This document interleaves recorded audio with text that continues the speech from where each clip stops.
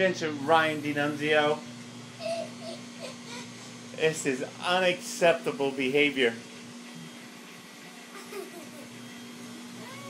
What do you have to say for yourself? I know!